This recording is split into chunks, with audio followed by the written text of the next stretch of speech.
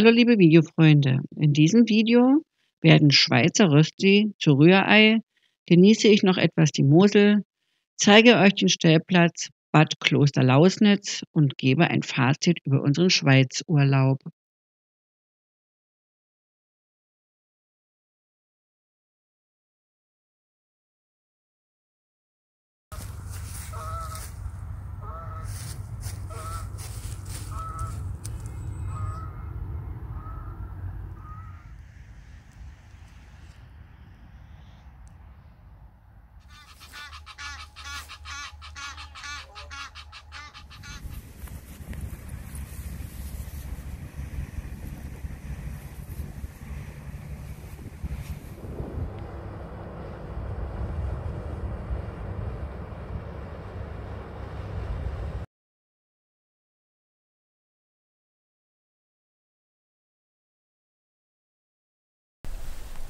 So, hallo liebe Videofreunde.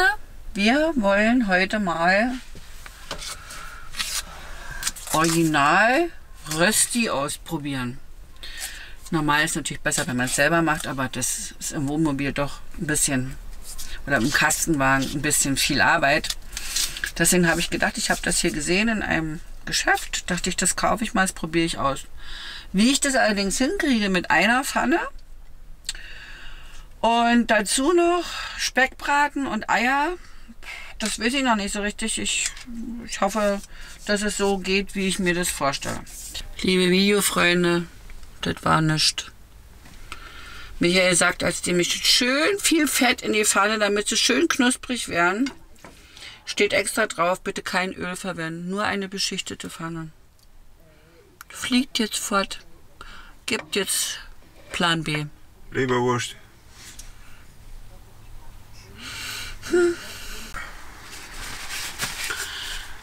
Das gute alte Rührei wird's. So. Michael hat sich dann Rührei gewünscht. Also machen wir jetzt Rührei. Wie der Herr befiehlt, so gehorcht die Dame.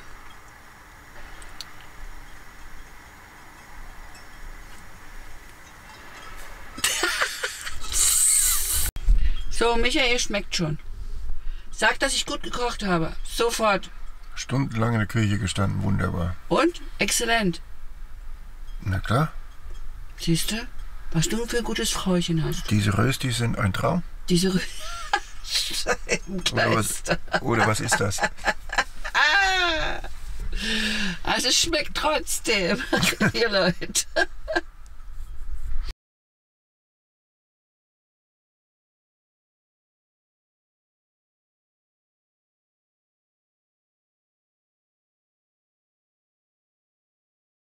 Hallo liebe Videofreunde. Ja, also das waren noch mal herrliche Tage an der Mosel gewesen. Noch mal voll Glück gehabt mit dem Wetter. Und ähm, ja, der Platz an der Mosel kostet ähm, 10 Euro pro Tag. Und man wirft dann halt in diese Stromsäulen Geld ein. Weiß gar nicht, ob ich es im Video erwähnt hatte. Ähm, 1 Euro für 2 Kilowattstunden und das war super. Also der Stellplatz in Enkirch, den kann man wirklich sehr empfehlen. Es ist schade, dass so leider gar kein Stellplatz an der Mosel im Winter auf hat, muss ich sagen. Aber tja, ist halt leider so. Sie sagen, das rentiert sich halt nicht, kommt keiner mehr. Dann haben auch die ganzen Straußenwirtschaften zu und so. Ähm, und auch die ganzen Gaststätten. Und dann lohnt sich das nicht. Ja, naja, also es war sehr, sehr schön. Hat mir gut gefallen. Ja, von dort aus ging es noch mal kurz nach Hessen und dann ging es gleich weiter. Und da habe ich auch einen Zwischenstopp gemacht. Ähm, und zwar, das war in der Nähe vom Hermsdorfer Kreuz. Liebe Videofreunde, ich bin in Kloster, nein, in Bad Klosternausitz, so heißt es, am Hermsdorfer Kreuz in der Nähe. Und habe da gestern einen Zwischenstopp eingelegt. Und ähm, es ist nicht der idyllischste Stellplatz, aber der ist trotzdem sehr empfehlenswert. Und warum, das will ich euch jetzt erzählen. Ja, ihr seht schon im Hintergrund, hier ist feinstes Industriegebiet. Also nicht unbedingt wirklich so wildromantisch, aber Jetzt drehen wir die ganze Sache mal um. Jetzt kommt gleich ein Wohnmobil. Aber das ist der Platz von vorne. Hier ist eine Minigolfanlage. Und hier ist ein Restaurant dazu. Da ist eine, sind Bowlingbahnen, vier Stück drin. Ja, und da gibt es sehr leckeres Essen. Ich war gestern Abend dort. Die Betreiber sind äußerst freundlich, also sehr, sehr lieb. Und das Essen ist auch sehr gut. Und dann gibt es noch, wie gesagt, diese vier Bowlingbahnen. Da habe ich schon zu meinem Mann gesagt, also wenn wir mal das nächste Mal hier auf dem Weg sind, machen wir mal einen Zwischenstopp, da gehen wir mal bowlen, da hätte ich mal voll Lust dazu. Und die Stellplätze sind auch sehr ordentlich angelegt. Hallo. Oh! Ja, jetzt hat mich gerade ein netter Herr gefragt, ob man hier Fähr- und Entsorgung hat, aber das kann ich ihm leider nicht beantworten. Also ich hätte gekonnt, mir hätten sie irgendwie einen Schlüssel gegeben gestern, die waren ja äußerst freundlich dort gewesen. Aber ob man jetzt einfach herkommen kann zum Entsorgen, das weiß ich nicht. Naja, müssen sie fragen gehen. Ähm, ja, also die Anlage ist ja schön. Es gibt hier Minigolf und äh, die Anlage hier, also die Stellplätze sind auch wirklich, wirklich sehr ordentlich. Es ist recht ruhig. Ähm, nachts fahren mal ab und an ein paar Autos hier durch die Gegend, weil es ist halt wirklich Industriegebiet. Hier sind auch sehr viele äh, Speditionen. Und ähm, dann gibt es auch noch einen Wanderweg, also was heißt ein Wanderweg? Also wenn man einen Hund hat, kann man hier auch sehr gut hinten am Wald laufen gehen. Da geht man so ein kleines Waldstückchen durch und dann kommt man ähm, ja zu so einer Reha-Klinikanlage und da gibt es einen schönen Waldweg, wo man laufen kann. Also auch dafür ist gesorgt. Also der Platz ist sehr zu empfehlen. Also wir werden hier sicherlich nochmal herkommen. Ja, also ihr habt super schön angelegte Plätze hier, sind ebenmäßig, ihr braucht keine Keile, nix, geschottert, terrassenförmig, vier Plätze, vier Stromanschlüsse sind hier. Man zahlt ein Euro für eine Kilowattstunde und ähm, ja, ist für alles gesorgt. Also wir war, also ich war sehr zufrieden. Ja, für mich geht es jetzt weiter und zwar fahre ich jetzt nach Heinichen. Ich wollte eigentlich heute schon nach Dresden fahren, weil ich habe morgen einen Tierarzttermin für unseren Hund. Der hat einen Augenlidtumor und äh, den hat er schon länger, aber jetzt langsam wird er ein bisschen größer und da gibt es einen Spezialisten, eine Klinik, die sich auf Kryochirurgie ähm, spezialisiert haben. Das ist Kältetechnik und da wird mit Kälte werden dort die Tumoren ähm, verschiedener Arten äh, behandelt. Und speziell in der Augenlidtumor ähm, ja, Geschichte haben die sich da drauf spezialisiert und deswegen will ich da mal hinfahren, will mal unseren Hund vorstellen und will mal schauen, ob das möglich ist, ähm, mit dieser Technik bei ihm zu arbeiten. Ähm, das geht nur, wenn die noch klein sind irgendwie. Und ähm, ja, da will ich auf jeden Fall mal hin und will mich da mal beraten lassen. Und da wollte ich eigentlich heute schon nach Dresden fahren. Jetzt habe ich aber gelesen, also dass der Stellplatz, wo ich hin wollte, der hat sehr schlechte Kritiken bekommen. Und deswegen werde ich da jetzt nicht hinfahren, sondern werde nach Heinichen fahren. Das ist eine Stunde von hier entfernt. Da soll es auch einen Stellplatz geben mit Strom. Und dann geht's von dort aus morgen nach Dresden. Das sind dann nochmal so äh, 50 ähm, Kilometer oder 60, keine Ahnung, oder 70. Nicht viel. Und so werde ich das jetzt machen. Also werde ich jetzt mal starten, mein Stromkabel einrollen ordentlich und dann geht es weiter. Und jetzt stehe ich hier, das ist eine Stunde von gestern entfernt, von diesem Stellplatz am Hermsdorfer Kreuz. Äh, Gibt es bei Park for Night, äh, ist das ausgewiesen. Als ich hier ankam, habe ich gedacht, ich bin verkehrt, weil es ja kein, kein Schild groß gab hier, das irgendwie was mit Wohnmobile ist. Dann habe ich aber gesehen, dass sie Steckdosen hier am Zaun haben für Wohnmobile.